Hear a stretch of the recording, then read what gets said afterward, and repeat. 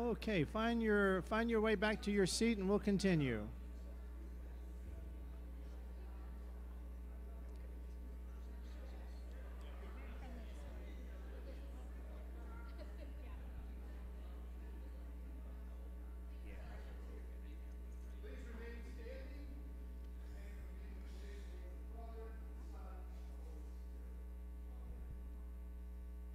Please join us in song.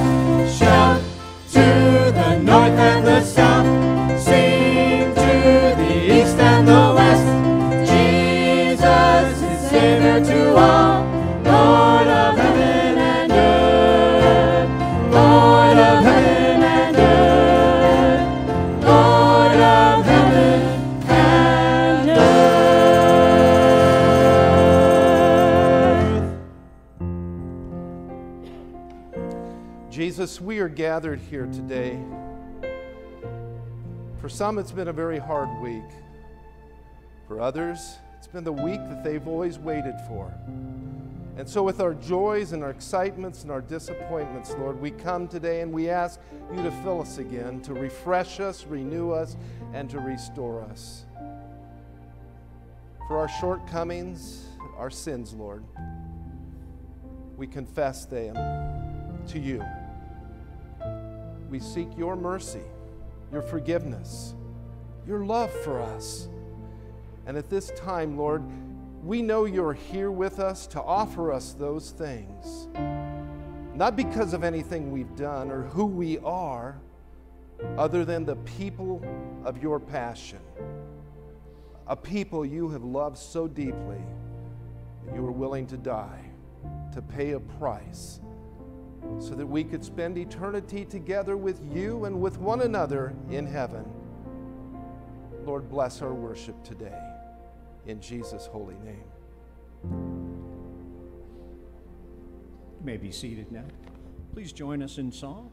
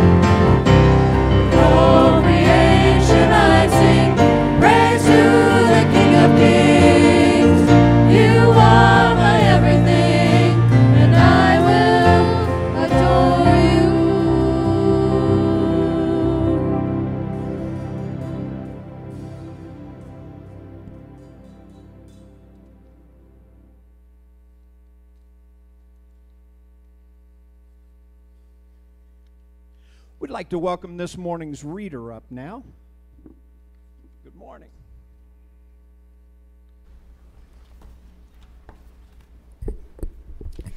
The first reading is from Revelation chapter 14.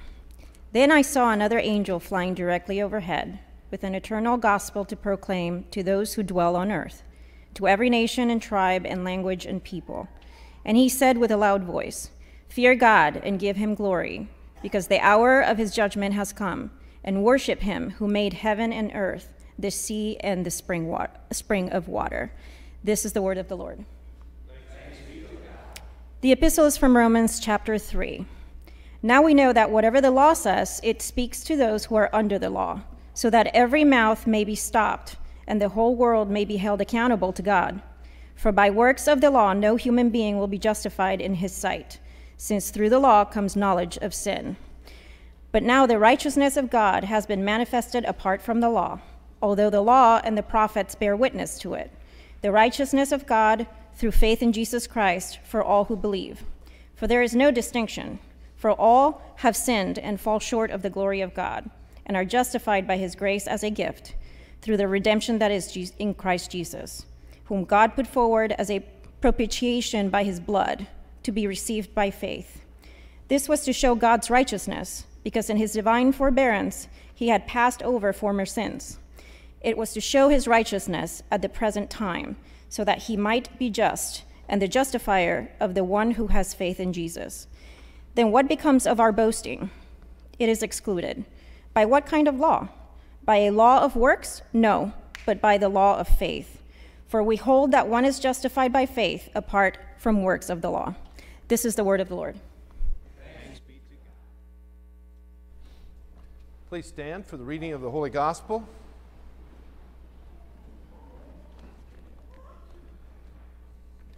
Holy Gospel appointed for this Reformation Sunday is recorded in the book of St. John, the eighth chapter. So Jesus said to the Jews who had believed in him, If you abide in my word, you are truly my disciples, and you'll know the truth, and the truth will set you free. They answered him, We are offspring of Abraham and have never been enslaved to anyone. How is it then that you say you will become free? Jesus answered them, Truly I say to you, Everyone who commits sin is a slave to sin. The slave does not remain in the house forever, but the son remains forever. So if the son sets you free, you will be free indeed. Here ends the reading of our holy gospel. You, may be seated.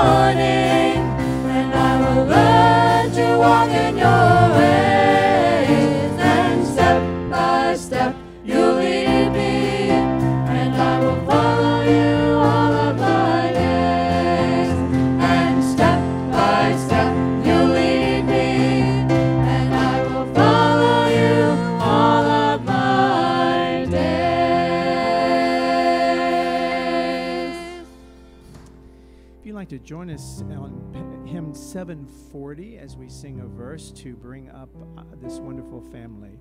So 740, hymn 740, I am Jesus' little lamb. You probably know it. If you know it,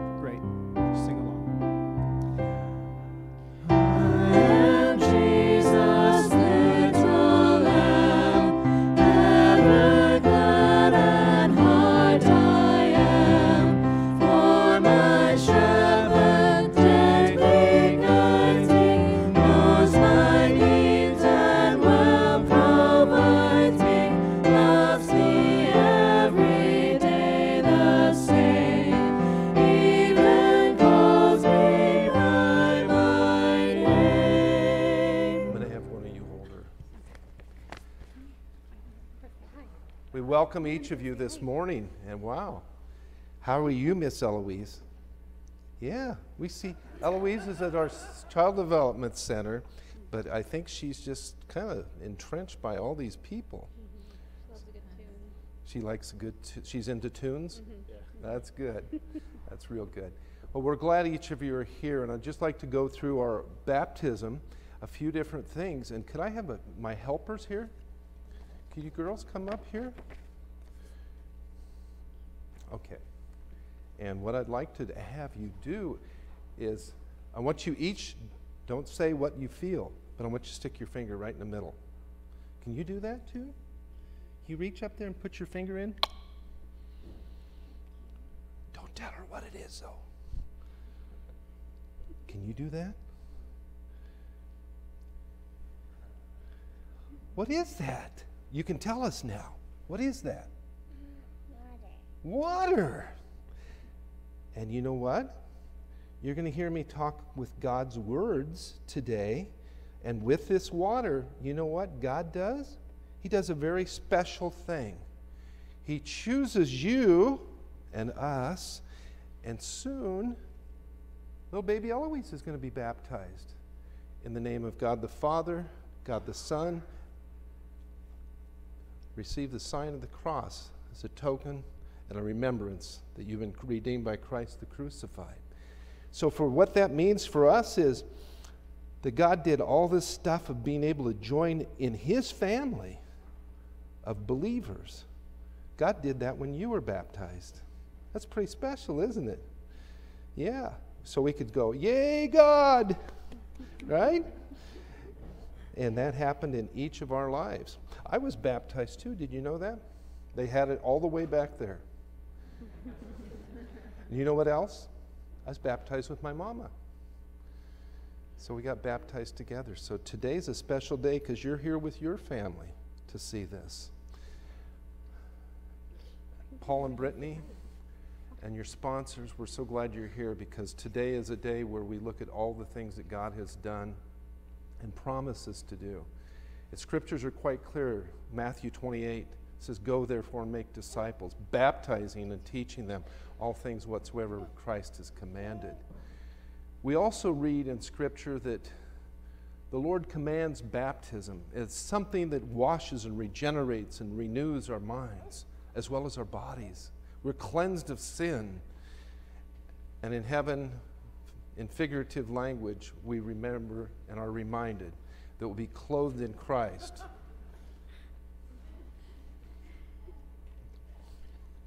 No? And so when we start to look at this, we start to see how God, in His grace and mercy, is extending all of that to her as you were given that same extension. And so, having received the sign of the cross upon your forehead and upon your chest, Eloise, we also are going to ask your mom and dad and your sponsors a couple questions. With the watering of faith, the seeds of faith have been planted in her, her life. We know that as we care for a child, we bring them up in the fear and admonition of the Lord. We teach and train them all things whatsoever the Lord has commanded. And so at this time, I ask you are you willingly and gladly going to be able to help see that happen? As mom, as dad, and as sponsors, godparents? If so, say yes with the help of God. And that would mean things such as bringing her to the house of the Lord for worship, for Sunday school, teaching her how to fold her little hands and to say those prayers at bedtime, at mealtime, and any time. But for her to have a created passion and hunger for hearing God's word and also living out her life as a Christian. And so, with those promises, we now make confession together of our faith in the words of the Nicene Creed. The Nicene Creed, if you look at your hymnals, the one that has a cross on it, open to the back page. We hid it from you. Just open it up to the Nicene Creed. I believe in one God, the Father Almighty, maker of heaven and earth, and of all things visible and invisible, and in one Lord Jesus Christ the only begotten Son of God, begotten of his Father before all worlds, God of God, light of light, very God of very God, begotten, not made, being of one substance with the Father, by whom all things were made, who for us men and for our salvation came down from heaven, and was incarnate by the Holy Spirit of the Virgin Mary, and was made man, and was crucified also for us under Pontius Pilate. He suffered and was buried, and the third day he rose again, according to the Scriptures, and ascended into heaven, and sits at the right hand of the Father. And he will come again with glory to judge both the living and the dead, whose kingdom will have no end. And I believe in the Holy Spirit, the Lord and giver of life, who proceeds from the Father and the Son, who with the Father and the Son together is worshiped and glorified, who spoke by the prophets. And I believe in one holy Christian and apostolic church. I acknowledge one baptism for the remission of sins, and I look for the resurrection of the dead and the life of the world to come. Amen.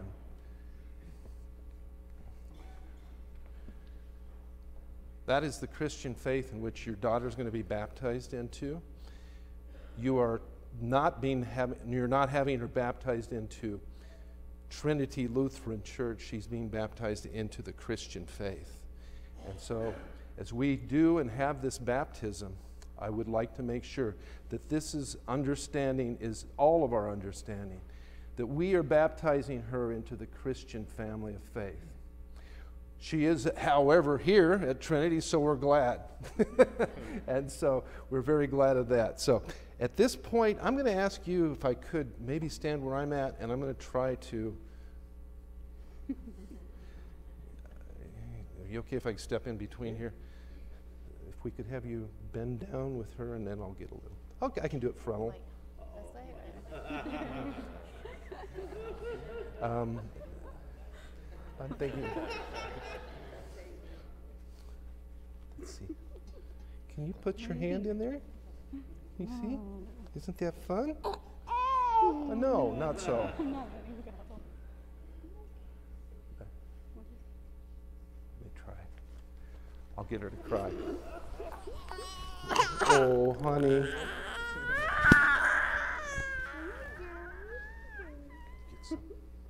Can you get some of these?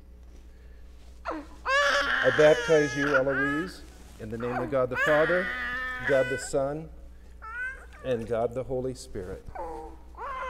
Oh, and wasn't that fun?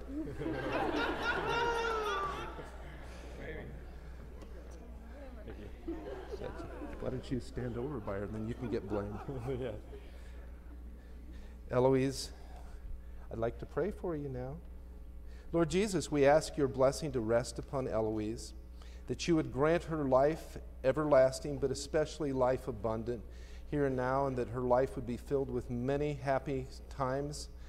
Protect her from the evil one, give her health throughout her life, and allow her to make a kingdom impact in the world in which she lives.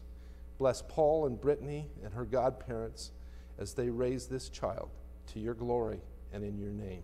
Amen. Congratulations. Thank you. Go ahead, Mike.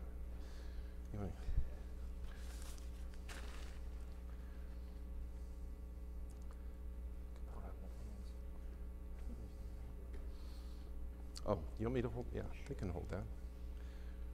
Holy baptism, God the Father has made you a member of His Son and Lord Jesus Christ, and an heir with us to the treasures of heaven and one holy Christian and apostolic church. We receive you in Christ's name as our sister in Christ, that together we might hear the word, receive his gifts, and proclaim the praises of him who called us out of darkness into his marvelous light. Louise, candle commemorate your baptism, and you can light that on your baptism birthday every year to remember your baptism. Welcome. Welcome. Could we and welcome to Trinity our newest member, Eloise Schetzel. Thank you. Thank you. Congratulations. Tell the folks at Emmanuel High. You can go back now. Thank you. Yeah. yeah, you got to save.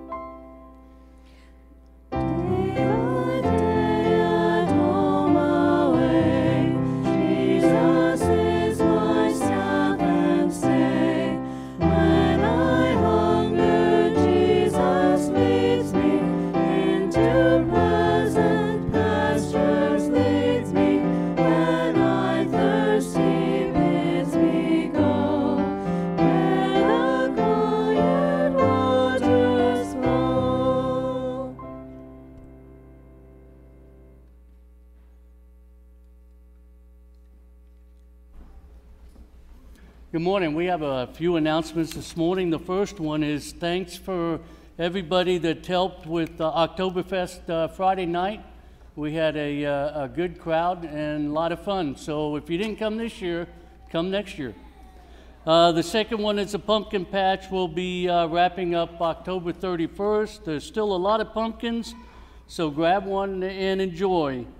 Uh, we'll have a voters meeting or a voters uh, member meeting assembly on uh, November 3rd after the 11 o'clock service. a lot of things are going to be discussed, including the uh, houses, the three houses that we have.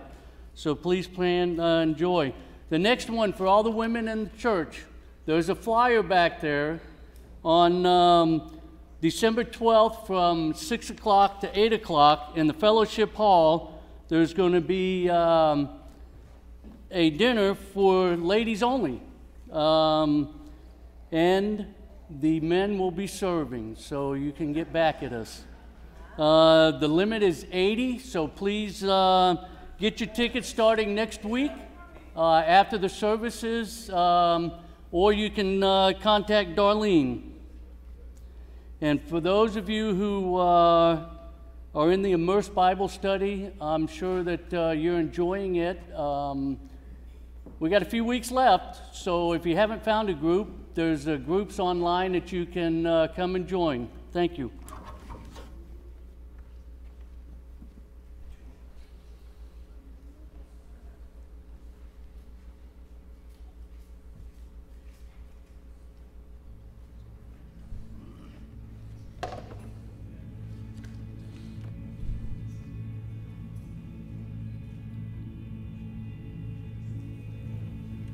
Paul spent years spreading the good news about Jesus.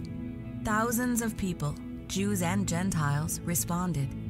Churches sprang up across the empire, scrappy little outposts of an alternative kingdom where Jesus, not Caesar, was proclaimed Lord.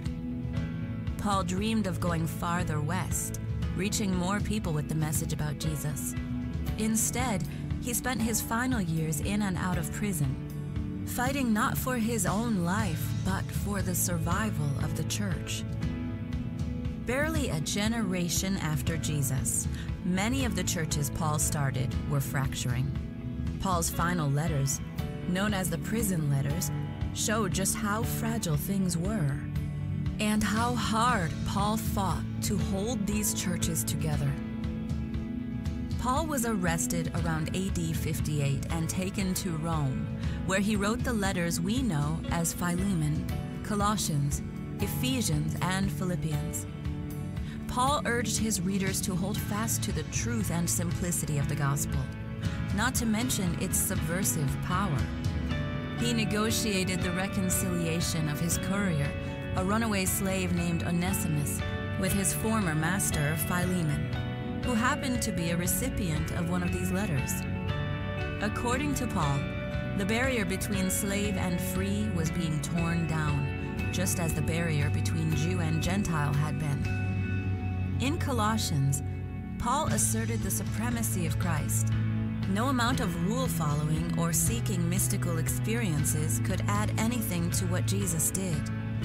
In Ephesians, Paul reminded churches in Western Turkey that God had demolished the wall of hostility between Jew and Gentile in order to create one new people. In Philippians, he shared his secret to finding joy in a prison cell. Whether he lived or died, Paul knew God's kingdom was breaking through. During a brief period of freedom, Paul wrote two of his most trusted colleagues, Timothy and Titus, advising them on how to guide the troubled churches in Ephesus and Crete. Paul's freedom was short lived, however. The next time he was arrested, the Roman emperor was actively persecuting followers of Jesus. Paul knew there was little hope for release. He wrote Timothy one last time, urging him to stay true to what he'd learned. Paul's life did not end according to plan. Many of the churches he founded still teetered on the brink, but his message about Jesus endured. No amount of persecution could stop God's kingdom from breaking through.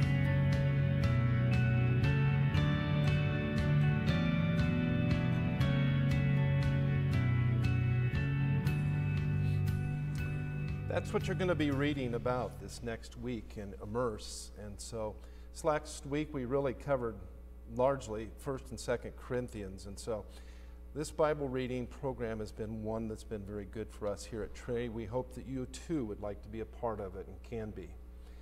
If you have interest in that, let us know.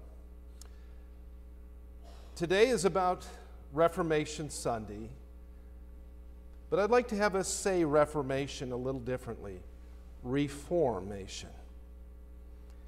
Because what I see with the celebration of today is a reformation that Luther found in his days needed to happen in the church. The people of God did not have in 1517 the language of their own native tongue, German. Their Bibles were written, and the only one that they had was in town was in the church, and it was written in Latin. Then we also would have to say, as you come to worship, you wouldn't be worshiping in English here, you'd be worshiping in Latin, as was the custom even in America for many of the Roman Catholics. And so when we start to think about it, we start to see a reformation also of the church at Corinth and how they needed to be drawn back to the Word of God because there were some 12 different topics that they started to go askew on, just off to the side, and we're no longer really walking in the Christian faith. But Paul calls them back. And here in our own congregation, you know, we're going through a process of being back to the basis of reforming what we do, think, and say, and how we do ministry together, of making disciples as we worship, as we bear witness, as we study God's Word and as we have fellowship and then stewardship together, all of these pieces seem to fit together as God is shaping and reforming our ministry here. And so, as we look at Luther's day during the Reformation in the year 1517, this Augustinian monk had been studying the Word of God and he kept coming up against roadblocks. He just didn't find that these were the ways in which he understood what God's Word had said to him when he was reading it. And trying as hard as it was for him to find that faith of trying to, you know, flail himself, you know, with the whips, and to deny himself food and the like, and to add more and more prayer time and more and more of this and more and more of that, he found that he was falling short and could not please God. In his study of scriptures, especially in the book of Galatians, he came across verse after verse, which started to help him understand that we are saved by faith in Jesus Christ. We are also saved by grace through Jesus Christ. And it is the Word of God, sola fide, sola scripturis, and sola gratia, scriptures alone, that we hear about God's Word. And so, as we look at this, we see a reforming of the Christian faith and an understanding through this Augustinian monk that would shape the entire world. Today, we also see some of the struggles that the church in Corinth were struggling with. Corinth was integrated with a Greco Roman culture, with their faith, this new faith in Christ. And they claimed that there was a division between body and soul. The body was bad, the soul was good. And the heresy that sprung forth from that was inspired actually by Plato, the philosopher. And it led to the early church's form of Gnosticism. Gnosticism, which did not believe in a bodily resurrection, because the body, you know, according to this, was bad. And as a result, it also led to beliefs that were not according to Christianity. And so Paul had to address each of those. And being free in the Corinthian culture as they tried to marry Christianity with their culture meant that they were going to be free from the body. Actions of life they also considered were insignificant or unconsequential. It really didn't matter whether you did it right or did it wrong in their eyes. Thus, a scripture that says, Every man did that which is right in his own eyes. There were no morals, no boundaries, no absolutes, no rule of the day. Can you imagine living in such a place? Many of us would say we're wondering if we're there now. When I start to look at it, marriage, sexual relations, the Corinthian churches were struggling with. Should we marry? Should we not marry? Should we have children? Have no children? Does it matter if we go ahead and just do whatever we want to sexually? Their culture said it was okay. And after all, the body really doesn't matter, or so they thought.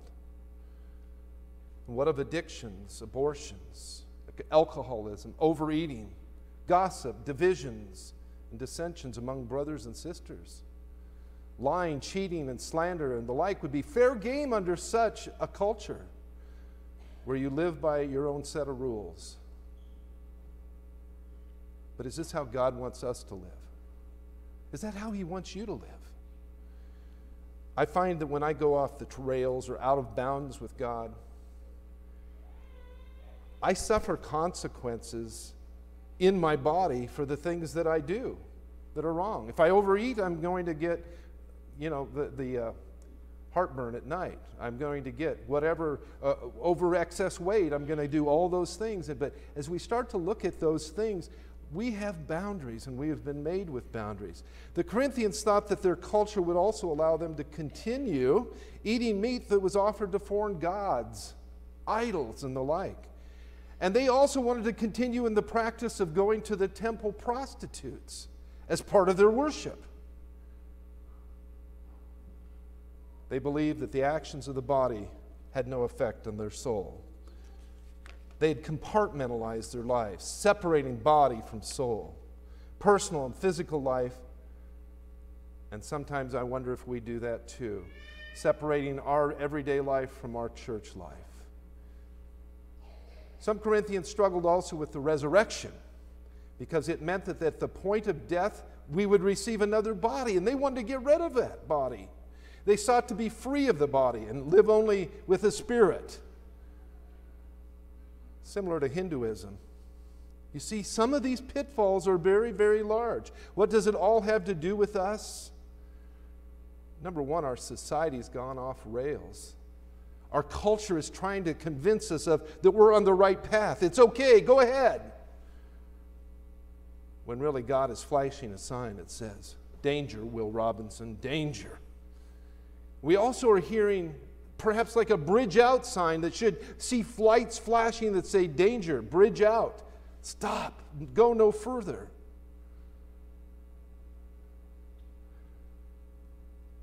Our culture is much, much like the experience of the Corinthians.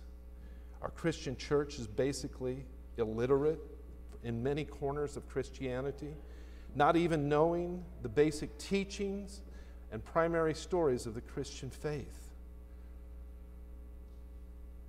If we are going to base our spiritual life, our eternal life, upon what God's Word says to direct this life, how can it, we direct and inform our life if we're not familiar with it?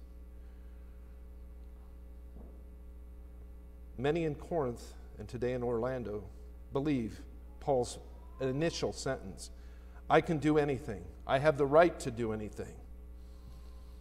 But Paul continues, but not everything is profitable, for the body is meant for the Lord. You see, the Lord redeemed the whole body, the whole person, body and soul. You see that such danger is wrapped up in us thinking that there are no absolutes, and if sins of the flesh do not count, or affect our souls, I would simply have to ask you then, why did Jesus die? Did he have to pay for our sins or our shortcomings if they really don't count? the Bible, however, declares that we are to be holy even as God is holy. Paul's mission and ministry was to inform us. And this is how he emphatically stated I'm determined to know nothing among you except for Jesus crucified Jesus Christ crucified and raised on the third day.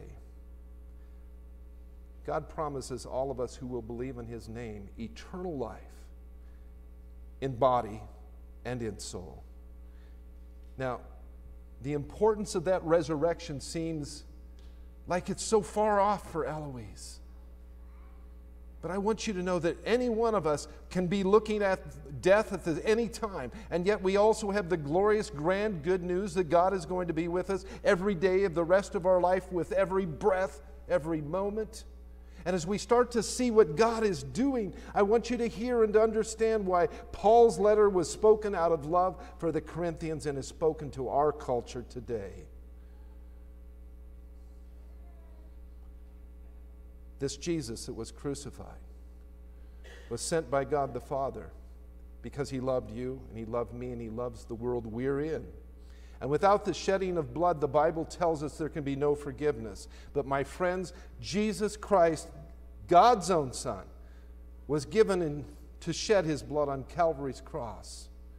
And now the blood of Christ that has been shed cleanses us of each and every sin, cleanses us in body and soul, in mind and spirit.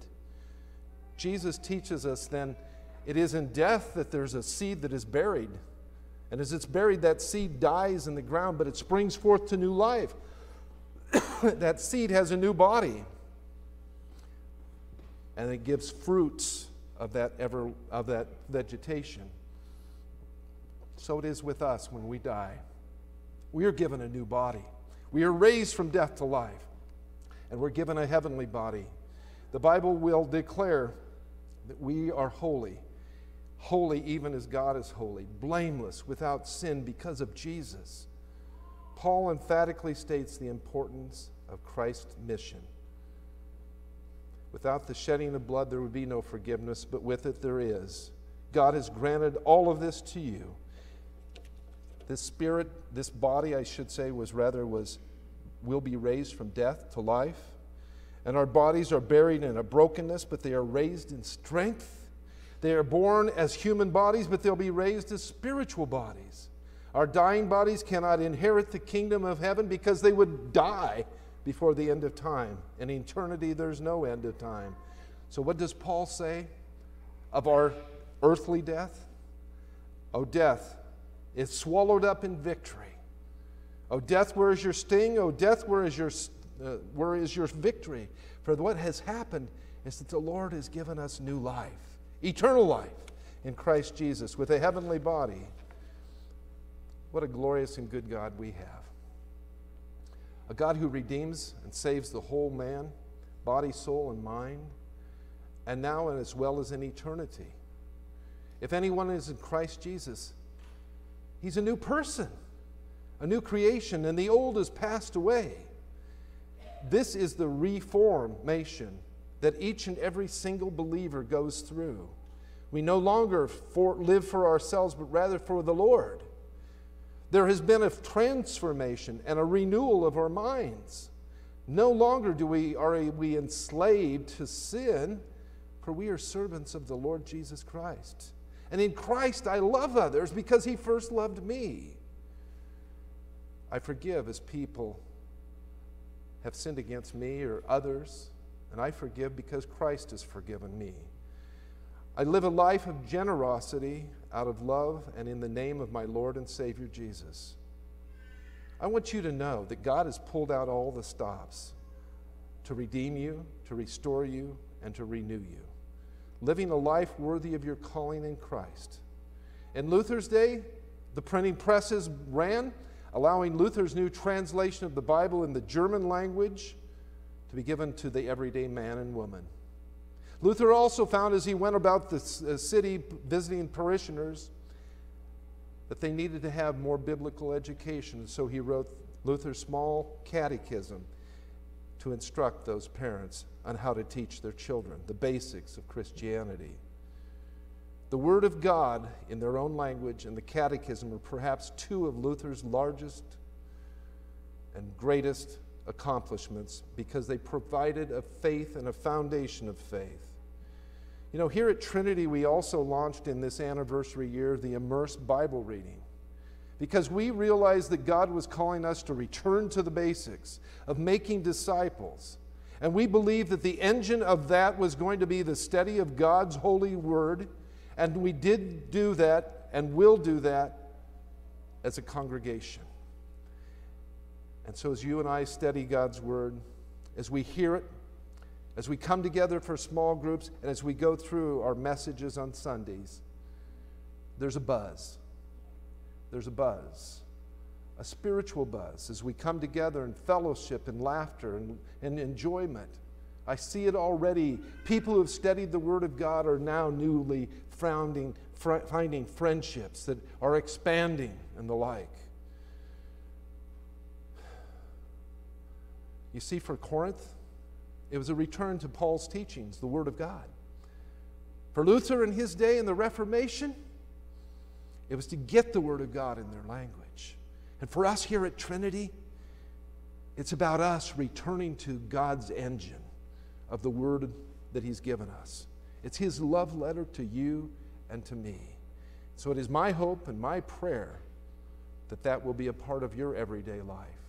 In Jesus' name, amen. And now may the peace of God, which surpasses all human understanding, keep your hearts and your minds in the Christian faith. Amen. Thanks. Ah, yeah.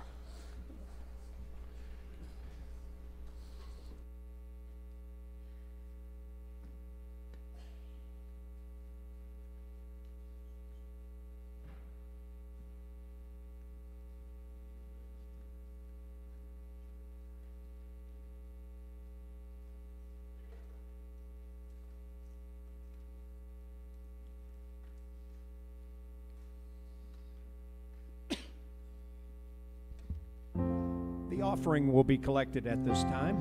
Join us in song.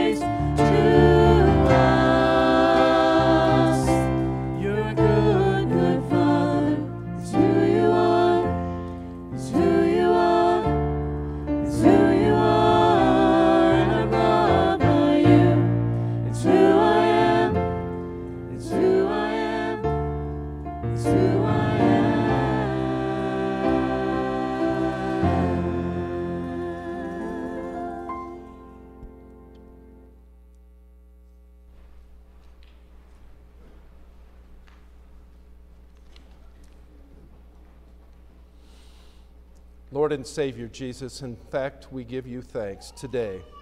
This Reformation Sunday, we thank you for reforming us, for calling us by name, such as Eloise, to become your children through the waters of holy baptism. We thank you for that work that you've done, clothing us in Christ. We also thank you as that continued, as where our faith was watered and nurtured and cared for. As we grew in the years, we thank you for your Spirit's daily and constant attention to our faith. Lord, we ask that you would speak to our heart and keep us safe from the culture that would otherwise choke out your word. We pray, O oh Lord, for right thinking that is your thinking, and that you would be in charge of and leading us as your children, as you said to your disciples Follow me, I will make you.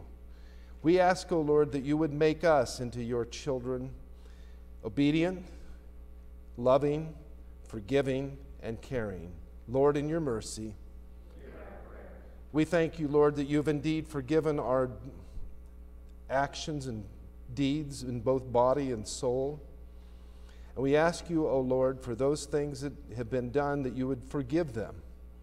And we are assured of your forgiveness from Calvary's cross, that your blood was shed. And so, with confidence, we know that both our body and our soul will one day be joined unto you, and that we will spend eternity together because you have declared each of us holy. Lord, in your mercy, and so, Lord Jesus, we give you thanks today for all the many ministries, all the helpers, all the things that have gone on. And we ask your continued blessings on our immersed Bible study.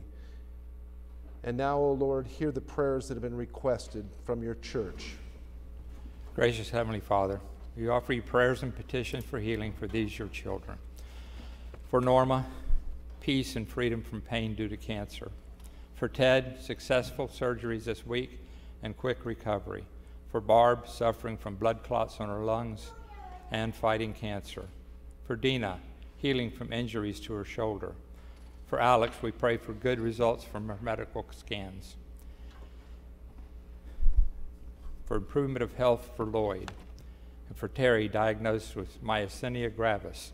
Lord, we pray for your healing and comfort for those that are suffering with illness, and uh, also we pray for their caregivers and their physicians. And we pray for comfort for all those forced to evacuate from fires in California and for the safety of the, those fighting the fires.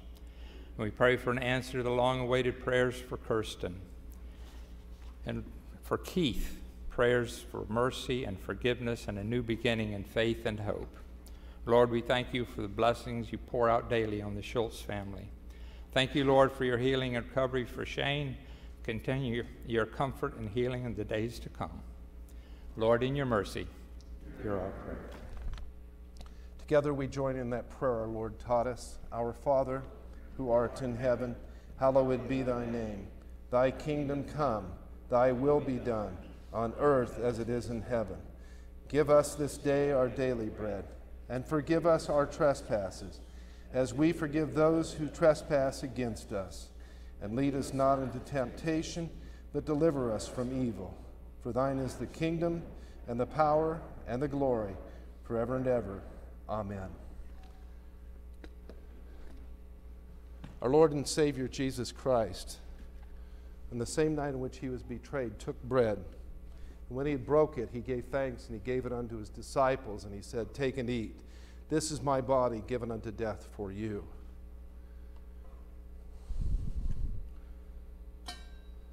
Likewise, in the same manner, Jesus took the cup, and after he had supped and had given thanks, he gave it unto his disciples, saying, Take and drink ye all of it, for this cup is the New Testament in my blood, which is given and is shed for you for the remission of all your sins.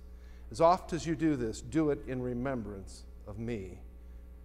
The peace of the Lord Jesus be with you always.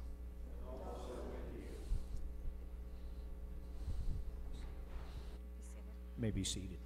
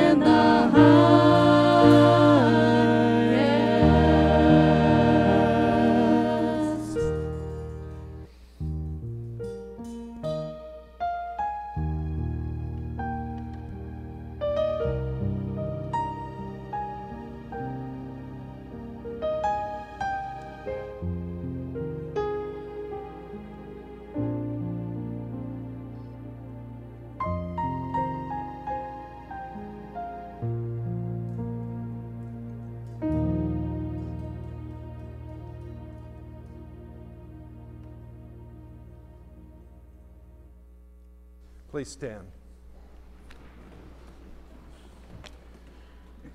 Lord and Savior, we give you thanks for all these many gifts that you've given us for communion, forgiveness, your love, for baptism. And we ask, Lord, that you would bless every person who's here as they leave. May they go out with the good news that you love them, that you've forgiven them, and that you've promised them everlasting life. In Jesus' name. And now may the Lord bless you and keep you. May the Lord make his face to shine upon you and be gracious unto you. May the Lord lift up his countenance upon you and bring you his peace. Amen. Could we once again welcome Eloise Schetzel to God's family?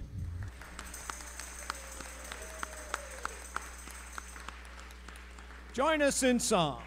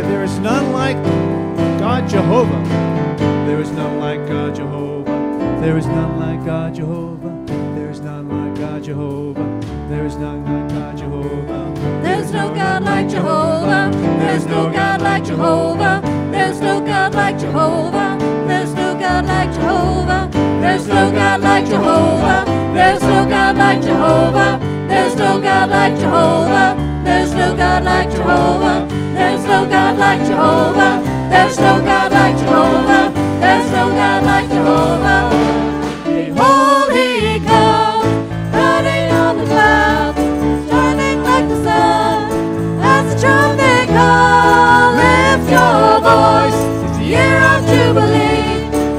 flowers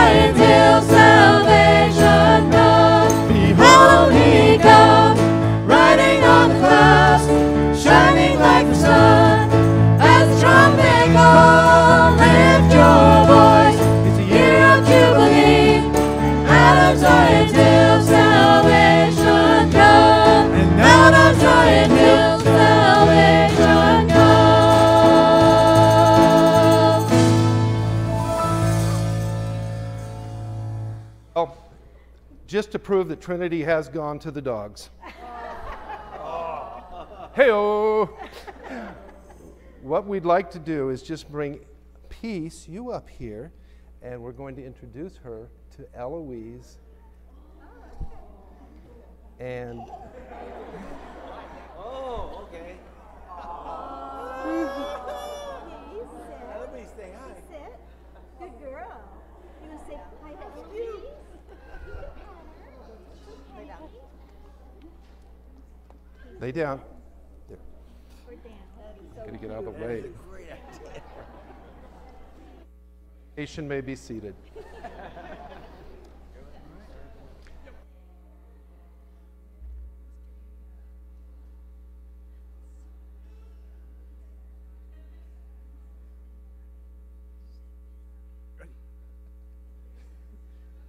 Back to the key of G. Go in peace and serve the Lord. Thanks be to God.